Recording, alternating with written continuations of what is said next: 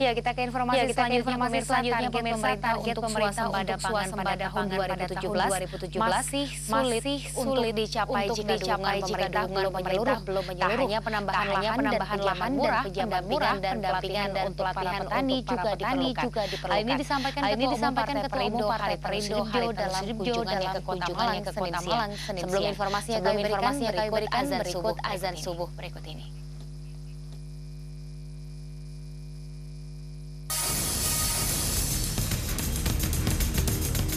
Pemerintah menargetkan Pemerintah Indonesia menargetkan mampu Indonesia melakukan mampu melakukan pangan di swasembada tahun pangan di tahun 2017. 2017. Namun dengan Namun, program yang dengan sampai program saat yang ini kurang saat ini maksimal, kurang maksimal, target tersebut sepertinya, target tersebut sulit, sepertinya tercapai. sulit tercapai. Ketua Umum Partai Perindo Haritanu Haritanu menilai pemerintah harusnya terlibat harusnya penuh. terlibat Tak hanya memberikan hanya pinjaman memberikan murah, pinjaman namun murah, juga pendampingan juga serta pendampingan pelatihan serta kepada para pelatihan petani kepada para agar hasilnya agar maksimal. hasilnya maksimal. Hal ini ia ungkapkan Hal ini dalam ia ungkapkan kunjungannya ke dalam Malang, kunjungannya Jawa ke Timur, Malang, Jawa guna Timur, melantik guna melantik 41 dewan 41 pimpinan cabang atau DPC cabang atau DPC kecamatan setingkat dari kecamatan kecamatan dari Kabupaten Kabupaten Malang, Malang serta serta Kota Batu. serta Kota Batu. Eh, eh, programnya harus programnya harus totalitas, totalitas tidak bisa sepotong. Yang pertama, yang pertama dari pertanian dari pertanian itu harus ditambah.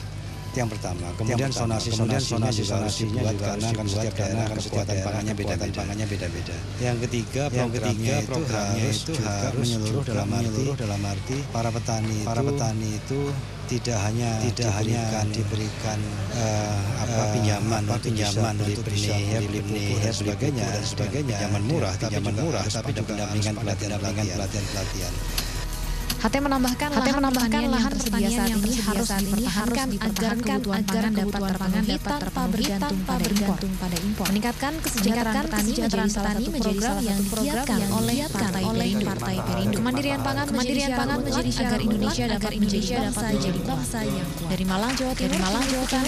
Media melaporkan.